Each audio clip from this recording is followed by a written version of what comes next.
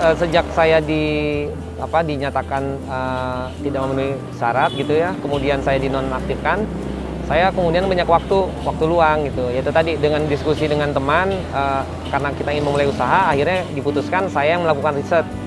Saya sepenuhnya belajar dari platform multimedia yang kaitan dengan makanan, yang menampilkan bagaimana cara membuat masakan khususnya nasi goreng, artikel-artikel terkait itu gitu. Jadi semua berdasarkan riset juga sih, Mas.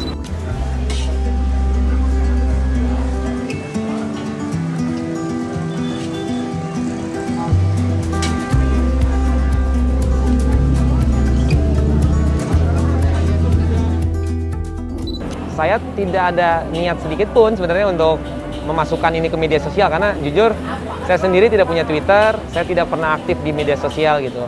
Cuma dengan kebaikan teman-teman saya saja kemudian uh, ini menjadi menjadi diangkat gitu uh, apa ceritanya gitu. Saya sebenarnya berharap dari awal usaha setiap usaha saya ingin berjalan sesuatu yang normal gitu, setahap demi setahap. Ya kalau rasanya tidak cocok ya pasti orang nggak akan kembali gitu. Saya nggak mau uh, orang datang hanya karena pemberitaan atau sesuatu yang viral gitu tapi dirasa atau di lidah nggak cocok gitu